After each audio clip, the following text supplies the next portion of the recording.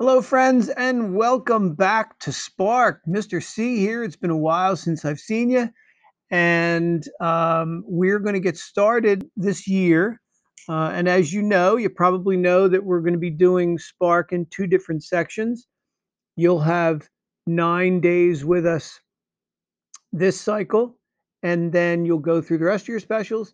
And then sometime in November, you will have the second part of Spark. So, what I'm going to do is I'm going to go through this first lesson and give you my expectations, let you know what, you know, the kind of things I expect about, you know, from you for this class. So, um, a couple things about this the place that we're going to be doing this in, and we're going to be doing it in in um, slides, Google Slides. And the way we're going to operate, the there's kind of different ways you, you're going to have to do this in order to make it work. I want you to take a look up here. You see this present key. Now, you may be experts at this by now. I don't know. I just don't want to assume that you are. So I'll go over a little bit of it. Bear with me if you know this. Um, the best way to look at these slide presentations is in present mode. So when you come in here, if you click on present mode, it's going to blow up to the full screen it's much easier to see on your Chromebooks. And sometimes some of the videos will start automatically, so it saves you the trouble of clicking on, you know, the little triangle. Um, so that's one thing. Another thing is that there are times in our slides where you will have to get out of present mode in order to change something on the screen because sometimes you need to change something on the screen, then turn it into me so that I know your answers. Sometimes it'll be learn a little bit about you. Sometimes it'll be um, it'll be tell me what you know. So it'll be different things for different reasons.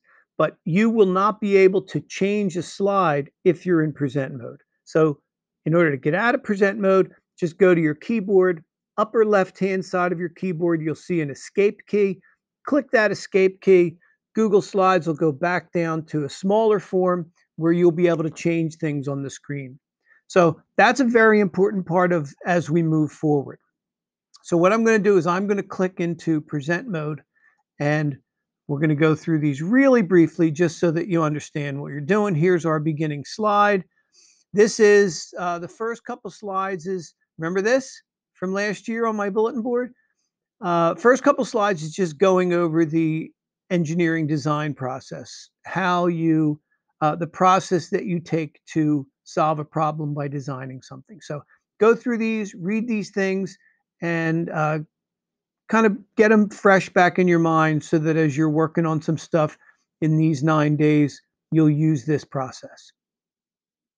So here's the ask, here's the explore, modeling, you start to design something and make it. You got to evaluate it. Does it work? Does it not work? Uh, did I did I solve the problem with my product? So these are all things that you're going to have to. And then ultimately, now if we were in class, you and your group would would explain to the class what you did and how you did it. In this particular forum, I may ask you to write a little bit about what you did. So either way, there's going to have to be some type of explanation involved. So we've got a first challenge here. Now, the things that you're going to need is really a bobby pin. And if you're not sure what a bobby pin is, you can ask your mom. I suspect that she's got a bobby pin. But know this if you don't have a bobby pin in the house, use something else. It can be a clothespin, it can be a safety pin, it can be a pencil, it can be anything that you have that is small or thin or light. And what we're going to do is this is Bobby. And of course, you know what his last name is Pin, right? So this is Bobby, and he's going to have to um, jump from a, he's stuck up on a shelf. He's going to have to jump down. But you've got to save him because if he falls from the high shelf, he's going to hurt himself, maybe break one of his little bobby pin legs. So you've got to create some type of device that will slow him down. Okay. And this is basically an explanation of this. Okay. You need to Figure out how you're going to slow your your item down, bobby pin, safety pin, clothespin, whatever. I'm going to slow it down and I want you to start noodling on how you can do this. There's an unlimited amount of ways that you can slow him down. You pick the one that you design and show me. Okay. Now, here's typically what we're talking about. We're talking about a height of about five feet. And normally, under normal circumstances, without any type of device to slow him down, it takes about one second for him to fall. So, what I want to see you do is make something, attach it to Bobby so that it takes longer than one second to fall. Here's the achievements. If you make him, if you keep him in the air for six seconds, at least six seconds, you get yourself a gold medal.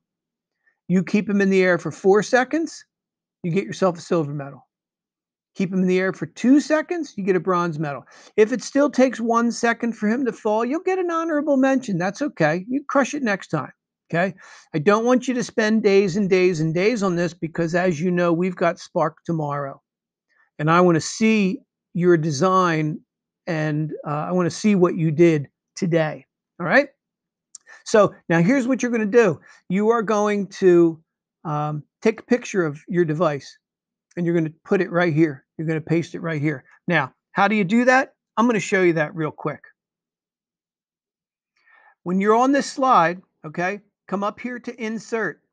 When you click on insert, if you click on image and go down to camera, if you click on the camera, it's going to give you a picture. It's going to give you your camera picture. When you're ready to take a picture of your item, you click the camera to take the picture and it will automatically drop it right into this slide. Okay, so you don't have to worry about taking pictures with your phones or your mom's phones or any of that stuff. Just do it right from your Chromebook. And again, get on this slide, click insert right up here, click on image, go down to camera, click on camera, take a picture of your creation and put it right in here. Okay. All right. So, important thing here is that you turn it in. That's the most important thing here because that tells me that you are following the lesson and you are engaging in the lesson. Very important. We are grading. Uh, we're, we're doing normal grading this uh, first semester. So I want to make sure you were able to turn everything in. Okay. So with that, have fun. I'll see you tomorrow.